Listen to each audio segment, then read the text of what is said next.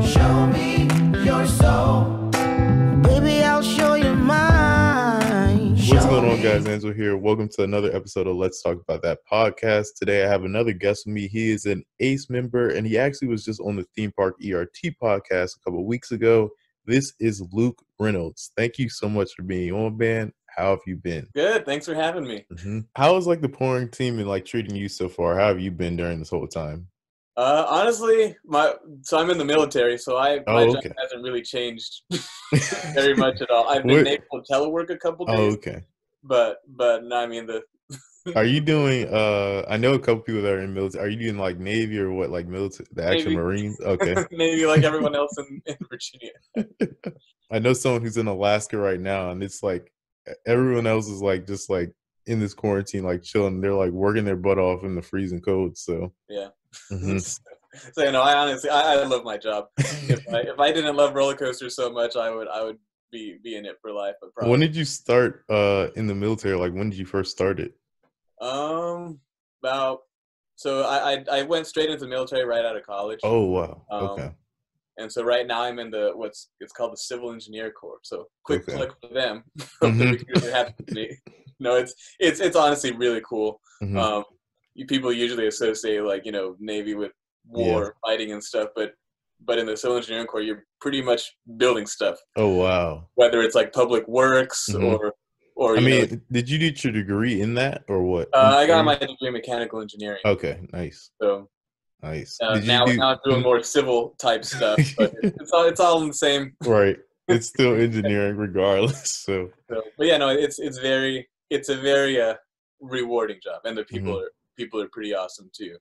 Um, actually, to, to bring this back to roller coasters, mhm, I was gonna um, one of, one of my favorite experiences ever in the military is one of my bosses.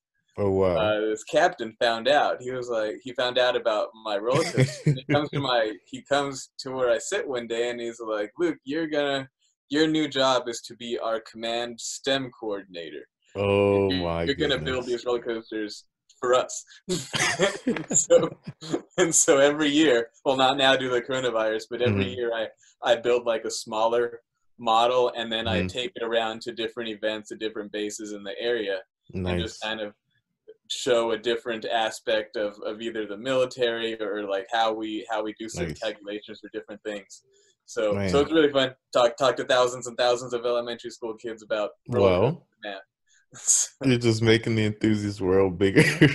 yeah. I mean, I see that thing in the background. Tell us what that is. I don't know if they can even see the whole thing in the shot. No. So, Let me angle it up. It goes. yeah. oh my gosh. So this is a. It's my Star Wars roller coaster. I feel like I feel like the best comparison is like Hagrid's roller coaster, Okay. Universe at Islands Adventure, except Mhm. Star Wars themed. It has it has four trains. It has it has a, a elevator. It starts with. Then it has a launch, and then it has a vertical lift Oh my gosh. and that's why it's taken so long to finish. Um, I mean, how long? When did you start that? I started about two years ago. What? But but to be honest, I've done like I've done like five roller coasters in the middle of it because I Okay. tired of working on this. Yeah. Um, I mean, I know I saw in the other podcast with uh, Theme Park ERT, uh, that one. I don't. I thought that's what you were talking about. You were working on. Is that is you still working on that one too? yeah, I'm still working on Oh my gosh. One. so you know, this one this one's the one that just takes Yeah. forever and ever, just because of all the little theming elements have to work perfectly. I don't know if you see that. That Oh yeah. right yeah. there. hmm That's where it starts. Boba Fett comes down out of that box and says something to the train, and then Oh really- my gosh. You're making it like an actual model. yeah. so, I mean, there's. Do you have a name for it yet or no? Yeah, yeah, it's called Okay. a Rogue Rogue Recon, Rogue Recon. Okay. Nice. All right. Well, how did you get into coasters? Actually, like I wanted to ask that before, but what? Uh, how'd you get into them? Um, I'd say well, when I was a bit, I was always fascinated with those. I, well, not even Lego, Duplo, Duplo trains. Oh yeah, yeah, yeah. So, I, well, growing up, it was me and my mom, and the way our apartment was laid out, Mhm. like it was her room, and then there was my room, and then there was a closet that connected them. Oh wow. So I would have the Duplo trains go through into my mom's room, through the closet to my room, out to the living room and back, and I just leave it there. my mom let me. So, Oh my gosh. I think that's how I got started, and then I graduated to Lego trains. And then somewhere somewhere along the line, I got fascinated with roller coasters, but I was Yeah. terrified of them. really? Wow. Yeah, I was I was absolutely terrified. I remember I remember one day I went to Legoland. Oh, grew nice. San Diego. So I went to Legoland, California, and I saw the dragon, and it was super cool. Um, but then, but I didn't want to ride it, so I told my mom, "You go ride it, and I'll watch you." and so I just sat there and watched it all day. You go ride it. I'm gonna just watch you ride. Have fun. So, Uh, so yeah, I've always been fascinated with them. I think that's around the time when, when like the original K'nex roller coaster came out. Mhm. It was this orange thing. It had a little Yeah. like cart, and I don't know if you've seen it, but it has like I think I've seen it, yeah. And it does a, a weird Mhm. like helix thing. yep. I got that and and played with that for a little bit. And then shortly after that's when the Screaming Serpent came out, which was at, once I got that, the rest was history. best, best toy ever created. How much do you think you spent in K'nex now? It's definitely in the thousands. I was about But, to say but, yeah. but also I would say I would say it's easy for people for birthdays for me and Christmas. Like if you get Right. me Oh, I know what I'm getting though I already, even though I already have all the connections in the world, I always use more. yeah, I mean, you so just make a giant much- coaster like you are now, so I don't blame you. You Yeah. should do. I was gonna say like you should make the track switch colors. Oh yeah, yeah. I've, Yeah. I've I've thought about certain. This only comes in certain, you know, the certain Yeah, standard colors. But Mhm. I've thought about getting some cool, some cool paint schemes in the future. yeah, that looks super cool. Like I've always loved the K'nex. I remember when I got mine. It's like I kind of destroyed it now, um, but it took forever to build, and I had no idea that they took that long to really build. Like I was just used to building Legos and whatnot, and I was like, "What the world is this?" but like, how did you get into like the ACE thing? Like, how did that all start for you? Um. Well, I think I would say I got into ACE at two different points in my life. Mhm. First, when I was really little, um, in California, I joined for a year, Oh, okay. and they had. I remember specifically going to an event at Knott's Berry Farm. Oh, that was, okay. That was all I did with ACE. Um, back then, back then, I think Theme Park Review was the the cool new thing. Mhm.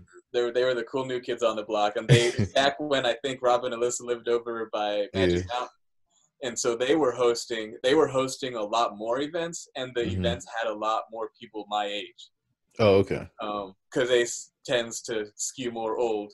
I think now that now I've I've seen a lot more younger people. Back I was then, about to say now it's kind of almost switched. Like you see, they'll like post the blog and whatnot with like all these older people. I'm like, who are these people? And like usually it's just a bunch of new people now. So yeah. So so anyway, back then I don't think I, I really took to ACE as much. mhm. Um, but then coming back, so then obviously life happened. I joined. I went to college, joined the military, kind of put the whole roller coaster thing on hold. Um, but then for the past four years, I've been I've had a lot more. I've been on shore duty, so I've had a lot more time yeah, on my hands um, to to pursue the, these types of hobbies, and that's when I I'm like, oh, and I'm in. so so most people in the Navy hate getting stationed at Norfolk. Just traffic and everything like it. They, everyone's like, oh, it sucks so bad, I hate it. But but the first thing in my mind was when I got was like, right. Busch Gardens, Busch Gardens. And Kings of Dominion. I've Uh-huh. never been to either one, so I was so excited. Um, Wow. So so I obviously I wanted to go to those parks and I wanted to go to those special events and I got the perfect time to to see to see what ACE is like now. hmm Um, and I joined. I joined again, and I think that one of the first events I went to actually wasn't even here. It Oh, was wow. in Silver Dollar City. Um, right Oh, when Time wow. Traveler opened, nice, and that was one of the most incredible events I've ever been to. man. Just just they rolled out. Obviously, Herschend does Yeah, does some amazing things. They're really hospitable, but but that combined with the people at ACE were very welcoming and very nice, and I, I made so many friends there just in Mhm. that first night. I'm like, wow, this is this is amazing. So so yeah, I've and since since that event, I've gotten a lot more involved in the local chapter, um, just by volunteering. Mhm. Um, I, I don't know if you know Elizabeth Ringus. Um, yeah, yeah. She's the local, yeah. the regional coordinator, but I forget what her what her national position is. Um, I don't. I remember she was at the uh, ACE event when I went to the one for Kings Dominion. I don't know if you were at that one, but they uh, it was like last year uh for like I forget what no, it's I called. Wasn't, I wasn't at this last. Okay, October. Okay. but but yeah, so she she asked one day um, if if they needed if there were any videographers who would be Mhm. able to help, and I I was like, sure, Right. I'll, I'll do it. I, like I like filming stuff, and it's a pretty cool opportunity to practice hmm um, just getting better at it. So I volunteered and started the YouTube channel, and, and uh, yeah, it, it it it paid off. Right. I you, I don't when you volunteer, you start getting invited to stuff like Mhm. media days or construction tours. They they need someone to take pictures or Man. pictures. So so I That's a smart idea. Like I didn't even realize. Like I once you start talking about it, I was like, oh, that makes sense now. How you start getting all these events. So yeah. yeah, um, and honestly, now that I'm I'm a, I have money now, so I can go to IAP and do all these other mhm. fun things. Um, What would you say is your most anticipated coaster for this year that were or that were supposed to release uh the new ones? What would you say your most anticipated is? uh, I well, I know I'm supposed to say Pantheon because it's right here. But no, I would say if it if it opens, I would say it would be Fly. Fly. I've- Oh, okay. I've been planning a trip to Germany for like two years, and it's always contingent on Fly opening. hmm and and literally, so the minute coronavirus goes away and and Phantasialand says it's going to be open for sure, that determines that determines my next international trip. So I would say that just it's a brand new, it's a brand new coaster type in a park that just Yeah. things like nobody else. And yeah, I was gonna say the uh you're probably the first person that said finally like none of the US coasters. Like I totally forgot about Fly, but you're right, they just it's always delayed. like yeah. so yeah, it's almost it feels like flying turns or one of these crazy coasters that's never going to open. oh my So, yeah, goodness. no, definitely fly. Just for you know, I'm I'm a more theme theme oriented person, Mhm. so that combined with the new technology is is really fascinating to me. What's like probably your top three parks that you've been to so far? Uh, top three parks that I've been to. Mhm. Uh, in no or particular order, I think Berry Farm is definitely up there Okay. because it takes like the vibe of like the Herschend parks, Yeah. but with but right in the middle of LA, or not in the middle of LA, but in that area. right. Yeah. and and um honestly, yeah probably probably Knott's Berry Farm, Dollywood, and Silver Dollar City are my favorite three. Okay. That's a like solid You three. can kind of tell the vibe. Yeah, I was gonna say theming. You really do like the theming. Same. I um, I love the thrill aspect. I just wish more amusement parks would get the theming part right because then it would just be perfect. so Yeah.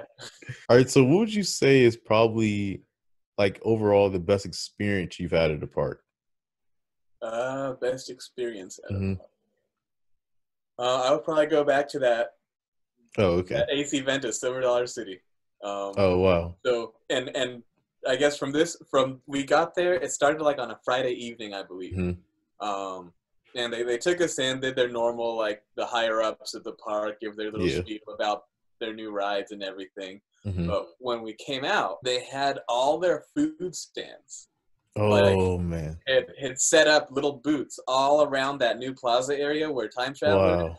So they had they had like from from like actual dinner foods to like their ice cream Oh my and they, like, and all this stuff, and they were all in these little like bite sized like little bowls. Oh wow. And then there was ERT on Time Traveler and ERT on Thunderation, and so you'd like grab like a little a little tiny bite of this thing, go ride Time Traveler, come off, get another tiny bite of that, and Man.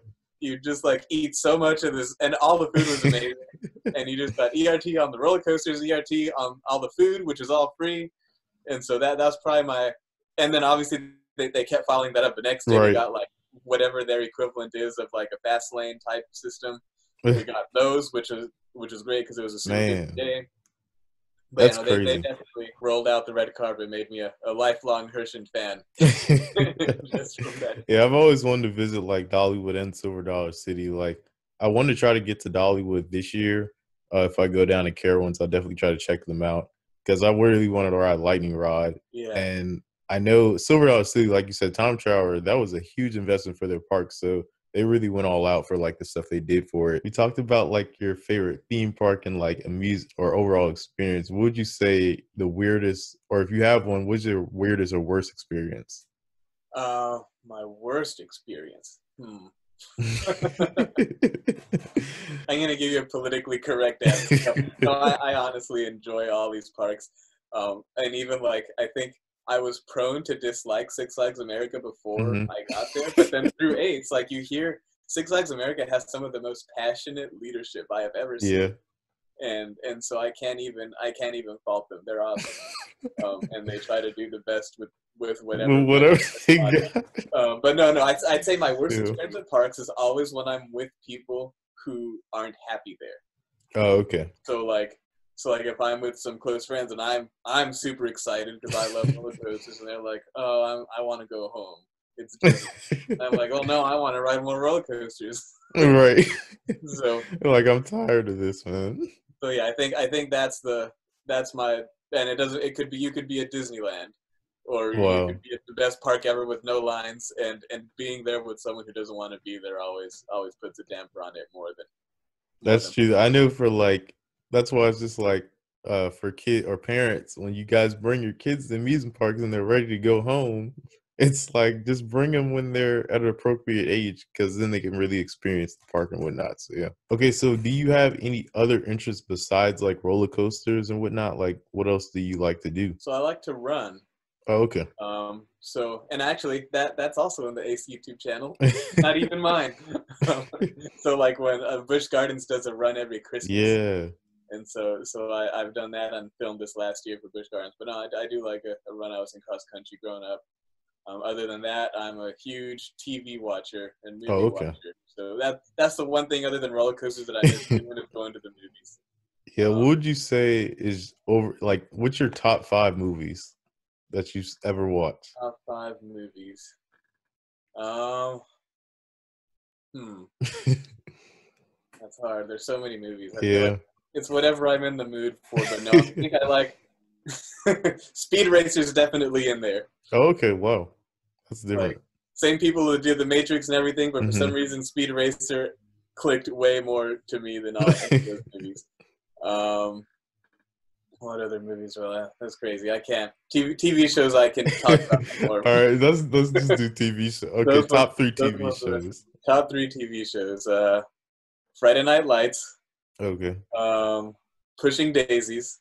Pushing. What is that? What? Have you heard of Daisies that? is one of the greatest shows ever. It got canceled due to the writer's strike like ten years ago. Oh wow. But it was. It's about like this guy. It's like imagine like this 1920s detective show, Mhm. but in the most colorful bedtime story fashion imaginable. It's about this guy who bakes pies and he touches dead people and they can come back to life for a minute. And Oh he uses that to solve their murder. So he goes to the morgue, touches touches someone who got murdered, and asks them who killed them, and then solves their murder. Oh and there's always some crazy complication. It is the most colorful, ridiculous show. Wow. I've never heard of that, but now that you said that, I have to look it up because that just sounds wild. yeah, Friday Night Lights, Pushing Daisies, and uh, Mm. Parks and Rec for Oh, okay, yeah. That show is funny. I just saw a clip from that uh, on Instagram with somebody else. I was like, bro, what is this crazy show? And he was just like, it's on Netflix. I was like, okay, I'll check it out. Yeah, I, was so excited too because they had a new episode because Mhm. the coronavirus, like years after the whole show ended. yeah. How do you like? Do you like uh, Rick and Morty or anything like that, or what? I've watched the first few. I haven't watched this last season, but I got H. I, I have HBO, so apparently it's supposed to auto upgrade to HBO Max, which Oh, okay. Supposed to be on, Nice. so I look forward to binging that that new season soon. Yeah, I love. Overall, it's pretty good. They gave us like five episodes, and now they're giving us the other five episodes. So it's just it's That's hilarious. Not even that many. Hmm? I feel like I feel like I thought there was a lot more to through. yeah, they don't. It's like I guess because it's so hard to make them, they're just like, no, we're not doing any more. What's your thoughts on like the like the quarantine? Do you think people are going to be running back to parks, or do you think like it's going to be a slowly like build? I don't know. I think I I I think it depends on when they open Mhm. and where they are. Um, yeah, But yeah, I honestly don't know. I yeah, think I think it'll be a slow build, and I don't know how the levels are going to be like between the reservation systems of the Mm-hmm. parks with their limited capacity and the demand. yeah. Um, just because obviously all the enthusiasts will be out there all the time, hmm but regular people I think are going to exhibit more more caution. Right. I think we're gonna see like like you said, the enthusiasts are going to be there, but it's like, how many enthusiasts are there really? Because we don't really make a huge percentage of the popular or of like the business for parks. It really is like guests and whatnot. So Right. So yeah, Mm. I, I have no clue, but I mean, I hope, I hope people stay safe. But I hope they all stay safe at the parks and give them enough money to right. to uh, continue on. Have you ever ridden a single rail yet, or what? A single rail, like Yeah. Railblazer. Mm-hmm. Yes, I've ridden Railblazer. That's my Oh. only one. What's your What was your experience on it? What did you think of it? I was so I'd I'd ridden a lot of RMCs before I Mhm. rode Railblazer, and it still shocked me. Wow. like, and the, I think I think I'm the perfect height for those Yeah. restraints to be comfortable. Mm-hmm. Um, they were much more comfortable to me than like the new B&M vest restraints on dive. Yeah. I absolutely hate those. Re- yeah, I was gonna say I can't. There's certain vest restraints, like you said, like I think it really does just depend on your height. Like if they made it for like that height, or I guess if the test dummy or whatever was that height, like, Yeah. and you were that height, then it's perfect. But other than that, you're like it's either a great or horrible experience. So Yeah, but no. So for me, Railblazer was amazing, and Mhm. I, I don't I don't think I would like it if it had lap bars because it would just be painful. oh wow, Because at least the vests like have some give to them. yeah. Because that that airtime is just it's insane. like I was like, how on earth is this even legal? Every time I watch uh off ride video of like the uh of Wonder Woman or something, I'm just like, it's just hauling, but it's only like fifty something miles. It's crazy. Yeah. you know, like every turn, like if it looks like it has airtime, it definitely has airtime. Oh my gosh. It's, What uh, you are you excited for like I know you gotta be excited for uh what is it, Jersey Devil. Yeah, What's your thoughts on that? Like do you think it'll still be I think it'll still be. I mean, just like Railblazer was so extreme Mm-hmm. to me that even if even if Jersey Devil is like half that, right be- half as tame as it? Yeah. And so so I'm not I'm not worried about that at all, and I'm excited Mm-hmm. for the the maybe pseudo clone going to Magic Mountain.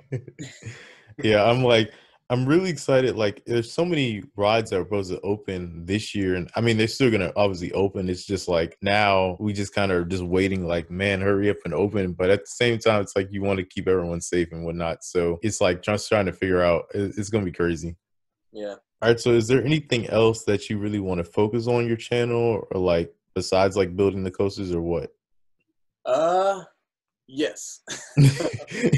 So so if you notice, my my channel name is Coaster Writer. hmm I've done a lot of the coaster stuff. I haven't really put any of the writing stuff on the channel. too. Oh, Yeah. okay. Um, so I do. I go to a writers group. Well, before COVID, I would go to Mhm. a writers group every week. Oh, Um, wow. I do enjoy writing and telling. Obviously, like the storytelling aspect kind of Mhm. makes its way into the roller coasters. Yeah. Um, but I, if in the future, if if that I plan to make that a much Mhm. bigger part of the roller coaster. So yeah, sneak preview. if, anyone, if anyone follows all my roller coaster stuff. Uh, so one of my big plans right now is I'm writing a novel, but oh, wow. I'm building. I, I'm planning a roller coaster. After this one's done, my next huge project is going to be a a roller coaster and a water ride, an interactive, what? and it's going to be themed to the Mhm. climax of the book that I'm writing right now. Oh my gosh. So, and so when That so is up to that, I'll be having videos about the book, the cool That's stuff smart, I learned though. while I was researching for it, but then also all the fun stuff going into the building of it. So, Man. so that's how all the stuff on the channel should You're trying to make like a whole documentary that goes into the code. wow. Have you ridden Do-Dodonpa yet or what? Yes, yes. Oh man. It was yeah. The launch was awesome. hmm Even even the turn, I love the turn because you just feel so free because it's so. I love roller coaster. You're just so open. You're just like this. Shit, this is way way more than any normal park. Even even like a normal Cedar Fair park, you're just out like on it with the background of the mountain. oh my Um, goodness. But I absolutely hate that that loop. The entrance to the loop Oh yeah. hurt me so bad. But I didn't. I wrote it like four or five times. I, wow. I pro- I've probably spent more money at Fuji-Q than I have at any other theme park. Oh my goodness. Just because when you go, everyone tells you, "Oh, the lines are going to be terrible. The the capacity is terrible." So I went first thing. And bought like all the fast passes I could, just because I knew it was gonna be like my only time, Yeah. and I didn't want something to close Right. and not be able to ride it. So Oh my then- gosh. and then the lines weren't even that bad. so I have all these fast passes. I just kept watching over and over and over. The one time you're like, oh, I'm planning ahead, and then that happens. You know, I mean, I was glad I got the fast passes, so because I got I got my fill of Eejanaika. Right. Da, da, da, but Did you, did you ride Hakugei? I think that's how you yes, say it. yes, I yeah. What was that like? Uh it was it was good. I, I really liked so so I've only ridden Steel Vengeance once because line Oh, okay. three hours when I went, and I I, I liked Hakugei more than Steel Mhm. Vengeance, but I got to ride Hakugei like ten times, Oh, So- dang. so that that probably made the difference. But no, I and I love I I don't know what it is about like that white structure. Yeah. It's like makes it feel different than other Mhm. wooden coasters, and then and then like so I think one of the biggest differences to me from between Steel Vengeance and Hakugei is that Hakugei you feel the openness of it more. Yeah. So I feel like Steel Vengeance is built into itself, Yeah. and like you know is like, just a wide layout, like yeah RMC. that wave turn on Steel Mhm. Vengeance goes in. yeah, The wave turn on Hakugei goes that's out. true. so you're looking out at the rest of the park. And so I feel like that's that's the biggest difference that I felt between the two. Oh my gosh. So yeah, How many I- RMCs have you ridden, by the way? Uh, I've ridden I've ridden most of them. I, I've been so yeah. The other my, I've ridden most of the ones in America. I haven't been to te- Mhm. I haven't been on any of the Texas ones, and I haven't been on Goliath. Okay. What about have you done Wildfire? No, and I haven't been Okay, on Wildfire. okay. So that's so I think those are the ones I eh, or or what's what's What about the- Untamed? no? Yeah, that's the other one. Okay, I haven't okay. But I have done Medusa Steel Coaster. Oh, nice. Man. All right. I didn't want to take too much of your time. So where can they follow you at on social media? Uh, social media, Instagram, Coaster Writer, Twitter. I think it's Coaster Writer with the one because somebody else took that username. YouTube Coaster Writer as well. Um, I, I usually focus most of my efforts on YouTube, um, Mhm. but occasionally I'll post something on, on Instagram and Twitter as well. All right, man. Well, thank you so much for being on. Thank you guys for watching. Please give this video a thumbs up. Remember to subscribe to the channel if you want to see more content like this. Also, enable post notifications to stay up to date with everything that's happening on the channel. And until next time, you guys, peace out.